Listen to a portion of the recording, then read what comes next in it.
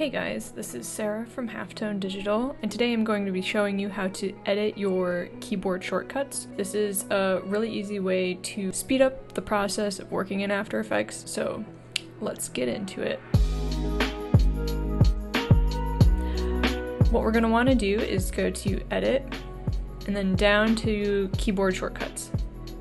And here you can see the keyboard and some of the single key shortcuts and then down here are the combinations. What we're gonna wanna do is find the section of the application that we want a keyboard shortcut for, like perhaps exporting to Adobe Media Encoder doesn't have a shortcut. We're gonna find File, we're gonna open up File, and go down to Export,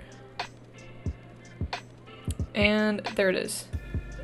And then to apply a shortcut, we're gonna double click under the shortcut column and then execute the key command. As soon as we double tap into the shortcut column, it will record whatever we tap on our keyboard. And then when we click outside of the column, it will apply those recorded key commands.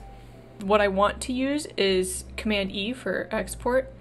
So I'm gonna do Command E, but Command E, it's being used by the tool Edit Original, and so I'm gonna edit the original and you can see that it removed Command E from Edit Original and applied it to add to Media Encoder. And I don't really use Edit Original, so if it was a common tool that I utilized, I would change it to a different key command. So things to note, know where the action is in the application that you want to change, and that can also include the panels on the side. So there you have it.